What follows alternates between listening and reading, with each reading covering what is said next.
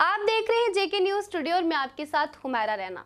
जून महीने के गुरुवार, यानी कि थर्सडे को भारत पाकिस्तान सीमा पे रामगढ़ सेक्टर में लोकेटेड बाबा चमलियाल की दरगाह पर मेला लगता है, जिसको चमलियाल मेला कहा जाता है।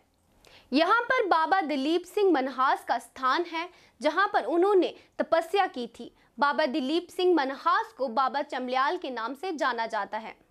इस स्थान को हिंदू, मुस्लिम दोनों मनाते हैं और हज़ारों लोग इस मेले में इकट्ठा होते हैं।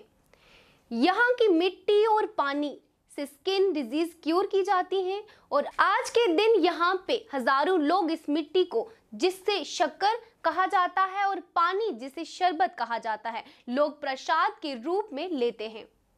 कुछ वर्ष पहले ये मेला जो बॉर्डर पर ज़ीरो लाइन के पास चमलियाल शराइन पर मनाया जाता था और हिंदुस्तान, पाकिस्तान दोनों मिलकर मनाते थे।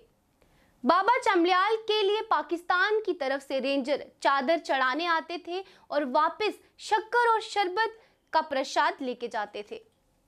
ये प्रसाद ट्रैक्टर ट्रॉली में जाता था जो पाकिस्तान की तरफ़ लोगों को बांटा जाता था।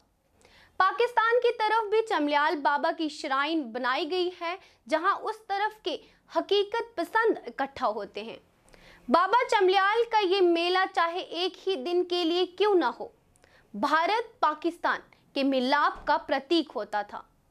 लेकिन फायरिंग की वजह से धीरे धीरे रिश्ते बिगड़ने के बाद, अब तो पाकिस्तान की तरफ़ से ना चादर आती है और ना ही यहाँ से शक्कर शरबत का प्रसाद जाता है।